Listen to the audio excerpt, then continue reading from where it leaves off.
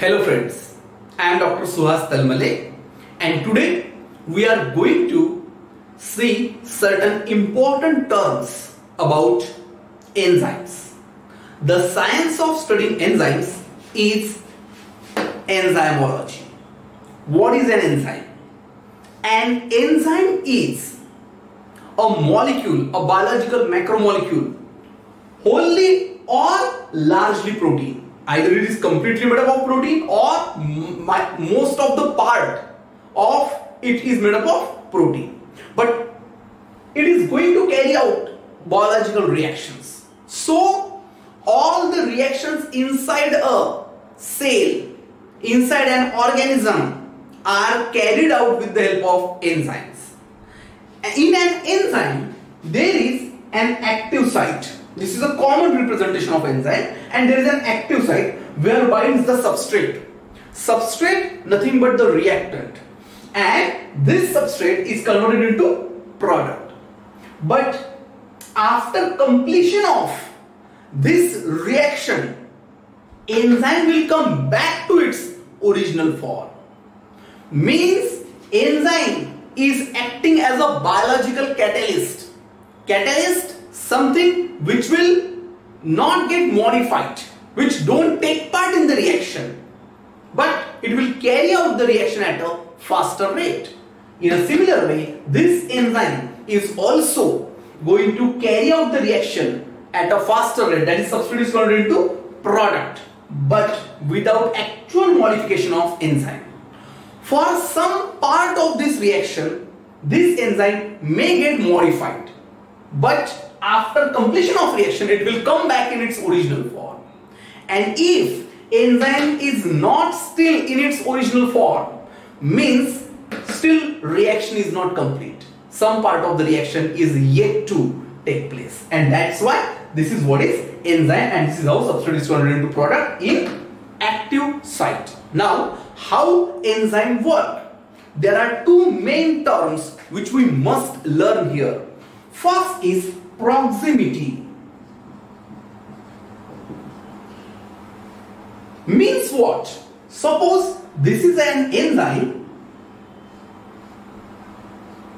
and these are the two substrates. Substrate 1 and substrate 2 then what actually enzyme is going to do? You can see enzyme has a binding site for these substrates and once in the enzyme's active site, both the substrates are bound, enzyme will bring these two substrates in close proximity to each other. So proximity means how fast that enzyme is going to bring these two substances or two reactants or two substrates close to each other. That is what is called proximity. Bringing substrates close other than that, the second most important term is orientation. Orientation means what? Suppose these are the two substrates which are going to participate in a biological reaction. And this is the active part of this substrate 1 and this is the active part of the substrate 2. And suppose the enzyme will bring these two substrates close but in such a way that their reactive parts are in proper orientation with each other. If we will bring these two substances close like this, its reactive part is facing on this direction. So they are not close, reaction is not going to take place.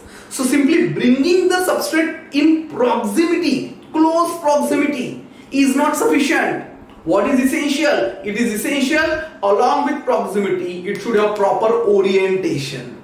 And that's why proximity and orientation, these two are the things by which the enzyme is going to carry out any biological reaction that is going to convert the substrate into product. There might be a single substrate. If the substrate is a single, then such reactions are called unisubstrate reactions if there are two substrates, bi-substrate reactions. If there are three substrate, tri-substrate reactions. If there are many, we can call it multi-substrate reactions. All are carried out by enzyme. Now, what is cofactor? because just now in the definition we have seen that enzyme is wholly means completely or largely a protein. When we talk about largely a protein means in an enzyme along with protein some other part might be present. This other part which is going to which is required for the protein or enzyme to perform its action is called cofactor. So, if this is an enzyme, then this enzyme might be having a cofactor attached to it. So, this part might be the cofactor. There are many enzymes which are not having any cofactor. So they are having just the protein part. That will be sufficient. But there are many enzymes which have along with the protein part. This is the protein part of the enzyme. This one. Along with that they also have cofactor. Means something extra which is a non-protein part. And there are two types of cofactors. Either organic cofactor or inorganic cofactor. When we talk about organic cofactor, they mostly have vitamin origin. Vitamin B1, B2, B3 like this any vitamin or vitamins derivative that is modified part of the vitamin might act as a cofactor or it might be inorganic cofactor. When we talk about inorganic cofactor, it might be metal ions or something else, but that is not a part of organic. These cofactors are again uh, as they are classified into organic and inorganic but they can be further classified into two important parts. It might be a coenzyme or it might be a prosthetic group. Now this is very important concept. Now when we talk about coenzyme means a cofactor that form loose bond. Now this is extremely essential. You must remember this that coenzyme is that cofactor. Cofactor means non-protein part other than the protein part, anything else. And it is having loose bond or loose attachment with the enzyme. And mostly they are vitamin or of vitamin origin. And these are the chemical group carrier many a times and they are easily removable also why they are easily removable? Because they are loosely bound. So suppose this is an enzyme and there is a cofactor, a, co, uh, a cofactor and which is loosely bound and we can easily remove it by anything. Then it's loosely bound to it and such are generally referred as coenzyme and they are mostly carrier of chemical groups. And they are also called co-substrate or secondary substrate. Why? Look at it. For example, is NAD plus is its well-known example. NAD plus or FAD. NAD plus is nicotinamide adenine dinucleotide or FAD is flavin adenine dinucleotide. These molecules many times are present in the enzyme. We are taking an example. Lactate dehydrogenase is an enzyme in which NAD plus is present and lactate dehydrogenase convert the lactate into pyruvate. During this reaction, lactate dehydrogenase is going to remove two hydrogen from lactate and these two hydrogens from lactate are added to NAD plus. Because of that, the NAD plus get converted into NADH plus H plus while, while lactate will get converted into pyruvate. Now during that, what is going to happen? Suppose this is an enzyme lactate dehydrogenase in which lactate is bound which is getting converted into pyruvate. During that two hydrogens will be removed and these two hydrogens are transferred to NAD plus and NAD plus get converted into NADH plus H plus as two hydrogens are transferred to it. And this NADH plus H plus will get removed from the enzyme because in lactate dehydrogenase enzyme LDH that is lactate dehydrogenase. NADH plus H plus cannot remain bound. It will get removed and as soon as it will get removed again new NAD plus will come and bind. So this NAD plus is a coenzyme which can be easily removed. Once it will get hydrogen it will can be removed. So and again another NAD plus can come and bind. Again lactate is converted into pyruvate and again another NAD plus can be removed. So if it is removed, such many enzymes are there in which NAD plus as well as FAD are present. Many dehydrogenases are there in which hydrogen is removed from a substrate added to either FAD which get converted into FADH2 and it gets removed from there. So it is easy to remove them and as NAD plus is getting converted into NADH plus H plus means they are also getting modified means they are also taking part in the reaction that's why they are also called co-substrate or secondary substrate. So this is the coenzyme. Coenzyme is also a type of cofactor because any non-protein part can be a cofactor and if it is loosely bound coenzyme. Coenzyme are mostly vitamin origin but prosthetic group another important term. What is prosthetic group? Cofactor. It's also cofactor means any non-protein part but that is tightly bound. That is covalently bound. And if it is tightly bound or covalently bound means it is not removable. Example heme. The heme part in the hemoglobin. Now hemoglobin is not an enzyme but it's a protein and in that protein this heme part which is bound is very tightly bound you cannot remove it if you want to remove it you have to break the complete hemoglobin then only you can remove it Similarly, FES that is iron sulfur complex is present in many uh, proteins, especially various proteins of electron transport chain. Copper that is Cu++. it is also found in many enzymes and if it is covalently bound, tightly bound, if it is not getting removed, then definitely it's a prosthetic group. But prosthetic groups are not called co-substrate because they are never giving, going to take part in the reaction. No, but they will help the enzyme. They are required by the enzyme to carry out the uh, reaction properly. Then, metalloenzymes. As the name suggests, metal ions are bound to the enzyme.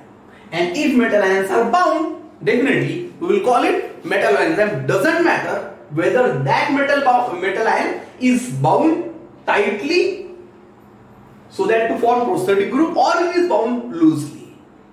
We are not concerned with that. Every enzyme in which metal ion is present metalloenzyme. That's it other that holoenzyme where along with protein some non-protein part is also present the combined enzyme is called holoenzyme. So along with the protein part, we have non-protein part also. But if I will remove this non-protein part, it might be prosthetic group, it might be cofactor, it might be coenzyme and if I will remove that non-protein part, this protein part of the holoenzyme is called apoenzyme. So apoenzyme is simply the protein part and protein part along with non-protein the complete machinery is called holoenzyme. Mostly it is seen if we will remove this non-protein part this apoenzyme is generally of no use. Now other than that active site which we have just seen it is nothing but catalytic site which is going to carry out catalytic reaction modulator. There are two types of modulator Modulator means something which will modulate the enzyme. Either it will be positive modulator or it will be negative modulator. When we talk about positive modulator, it will positively modulate the enzyme. Means it will stimulate, that's why it is also called stimulator or it will activate the enzyme to carry out the reaction at a faster rate. That's why it is either called stimulator or activator or positive modulator. While negative modulator is generally referred as inhibitor means it is going to inhibit the reaction. Many a times it is also referred as blocker because it will block the enzyme and won't allow it to carry out reaction. There is a minor difference between blocker and inhibitor also which we will learn later. Now allosteric enzyme as we have discussed every enzyme has active site but there are some enzymes which along with active site active site is present. There is no doubt where substrate will bind and convert it into product. But along with active site, they have an additional site. And this additional site is called allosteric or regulatory site. Now, allosteric or regulatory means what? Means on this site will either bound the positive modulator or will bind the negative modulator. Either positive modulator or negative modulator. On the same regulatory site, both positive and negative modulators cannot bind because enzymes are very specific. If it's a site for positive modulators, whenever positive modulator will bind, what this positive modulator will do? Suppose this is an enzyme where substrate is binding and getting converted into product. This positive modulator will bind and open the active site more, a little bit more wider in such a way that substrate will get easy access and products will be formed easily. Also it will activate this enzyme in such a way that most of the reactive groups of this enzyme will keep on interacting with substrate and keep on converting into product. But suppose this allosteric site is designed for negative modulator. Definitely when negative modulator will bind, what it will do? It will try to close the active site in such a way that no substrate can bind and no product can be formed. Or this negative modulator can change the active site in such a way that substrate binding site of the enzyme will be lost. So reaction cannot take place and this is how negative modulator can work. So positive modulator is also called stimulator or activator but negative modulator is also called inhibitor or blocker and what it is doing? It is modifying the enzyme and such enzymes which along with catalytic site or active site also have allosteric site or regulatory site are called allosteric enzymes. They are also called regulatory enzymes. We are going to learn about this detail in detail in the next lecture. Allosteric site is what? Nothing but this site. This site is the allosteric site and this enzyme is the allosteric enzyme. So, today we have discussed about a few uh, important terminologies regarding enzyme. Thank you.